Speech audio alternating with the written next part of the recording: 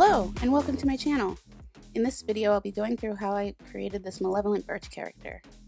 If you're looking to recreate this look, or even just wanted to see the process, then just keep watching. I started by gluing my eyebrows down, brushing them in an upward direction using adhesive. I then applied Pros-Aide over them to smooth the area further.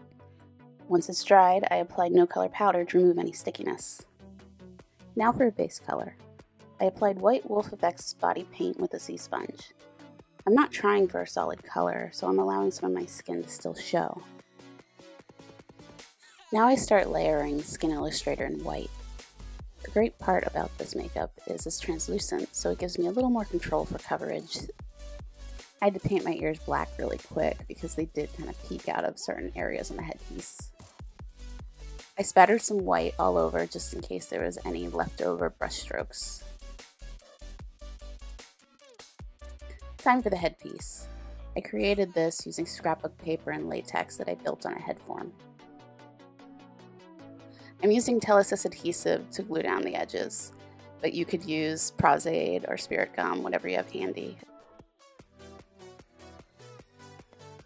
Now because I made this on a head form, the edges aren't that great, so I'm taking a little thickened Pros-Aide to smooth the transition into my skin. Also sponging some Pros-Aide around the edges really help blend it in.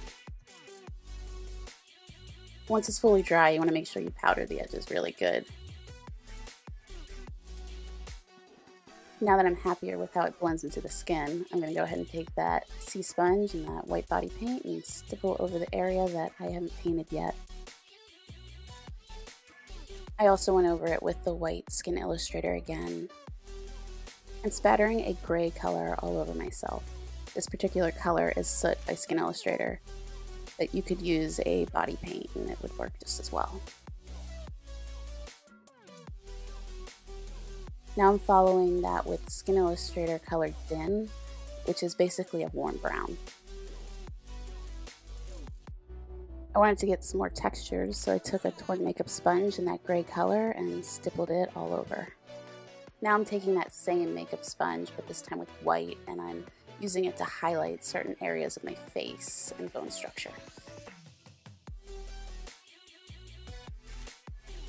For this part, I'm airbrushing Skin Illustrator Soot into the hollows of the cheeks and the jawline. Also spraying some down the side of the nose. I also want to add some depth to where it's supposed to look as if my skin is peeling. All these effects can easily be achieved with a brush and some gray powder, but I just tend to favor my airbrush. Now I'm shading around my collarbones because I wanted this character to look very malnourished and emaciated.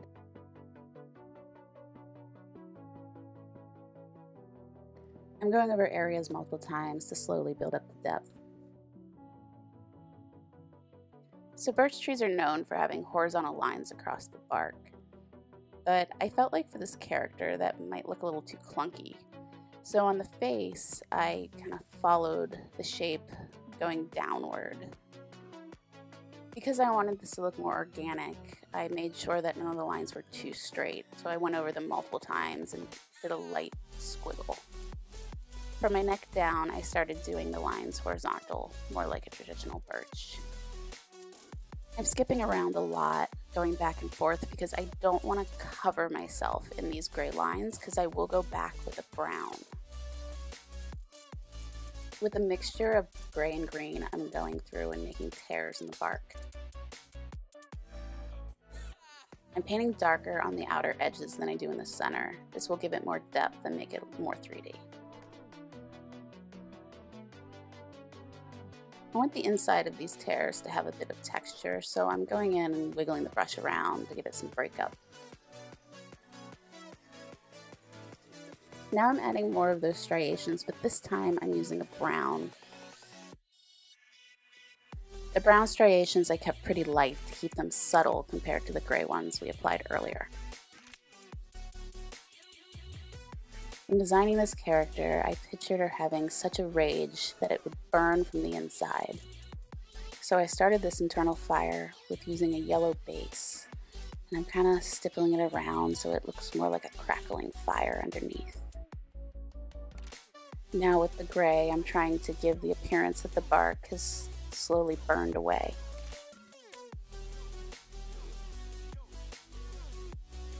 I'm also creating some darker gray areas so it looks like different stages of burn.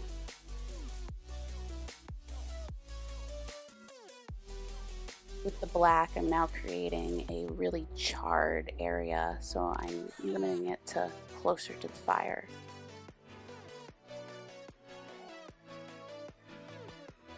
I start to add orange to the outer edges of the yellow and slowly bringing them inward so it looks like a crackling fire.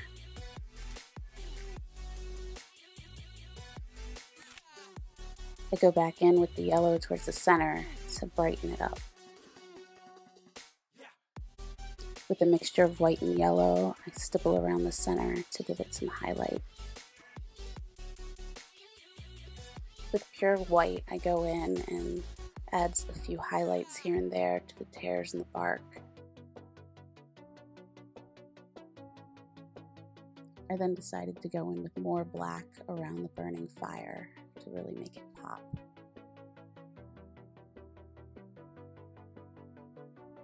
Then I go around the tears and add some of the black to give it a little depth in the corners.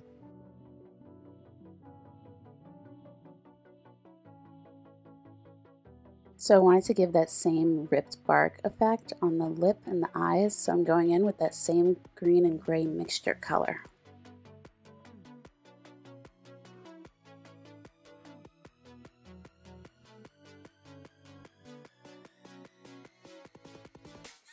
Going in and darkening the edges so that it has that same 3D appearance. I wanted to add a few more shadows, so I grabbed my airbrush again with the gray and just kind of shaded around these tears so it looks more as if the bark is peeling upward. Now with the white, I just do little spots on the tears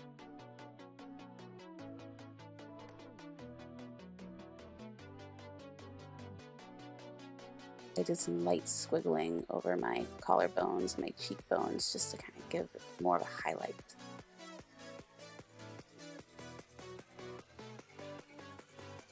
And since I was liking where it was going, I decided just to add some more highlights, just to give the character a little more pop.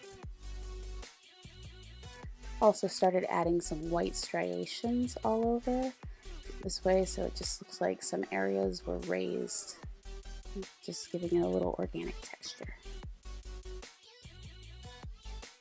Now I'm applying these foam latex vines. I'm adhering them in small sections at a time so that I can control where they go on my skin. So to further the illusion of the burning fire in the chest, I go and do little spots of orange and yellow on the vines and the thorns.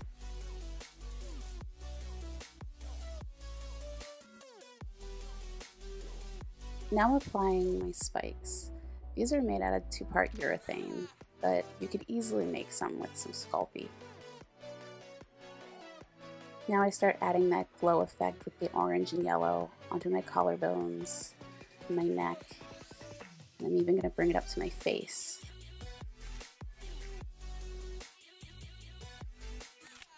Now that my contacts are in, I can go ahead and clean up around my eyes. I bring the white all up to my lash line and then go in with that green-gray color. Also now I can finish my eyelids. I am using Skin Illustrator for this step, so a good tip if you do use it is to make sure you powder it before you open your eyes or the color will stick.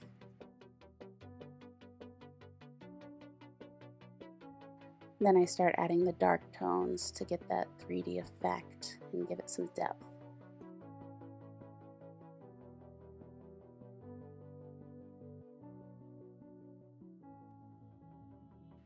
Adding a little more white into the inner corners of my eyelids. And then I also take that white and highlight my cupid's bow just a touch.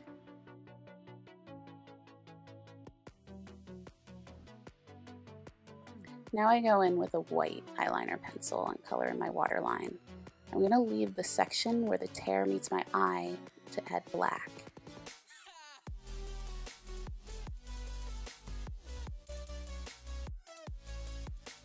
I'm adding the last few spikes to my face. I put two-way tape on these so that I can just stick and go and not have to go back and forth between glue and putting spikes down. And that's the finished look. Thank you so much for watching my video. If you're new to my channel, be sure to click that subscribe button. And if you're familiar with my channel, I hope you enjoyed this new voiceover format. I do plan on maintaining it for my future videos. Don't forget to click that like button, and I can't wait to show you my next creation.